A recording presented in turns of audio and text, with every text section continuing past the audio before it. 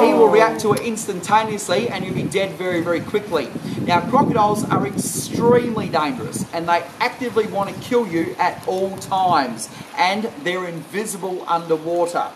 Now, of course, in 2014, four people were killed by crocodiles in Northern Territory. One of those people who died was on a boat. The crocodile swam to the boat under the water, launched out, grabbed his arm, hauled him off the boat and killed him. Now, he never ever saw that crocodile swim to his boat. There's three reasons why. First reason, the water was murky. Second reason, no air bubbles. Third reason, on his back, leave that. Leave. Leave. Leave. Okay, see how it touched his foot? Yeah. So I just told him to leave it. Otherwise, he would have swung around and grabbed it immediately. Hmm. now, folks, everyone see those lumps on his back? Yeah. They're called scutes. All crocodiles have them. Now, what they do is when a crocodile swims underwater, those scutes flatten the water onto the body. Now, the other thing they do, as soon as someone touches water, they react to it because those detect vibration.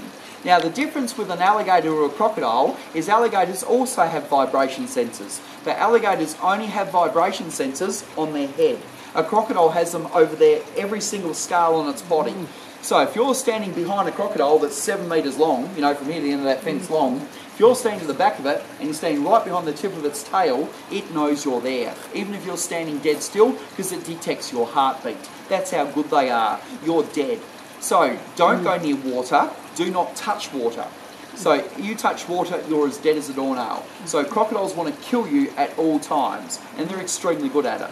Now, the reason that person died in 2014 is he was leaning over the side of a boat tapping a bucket on the water.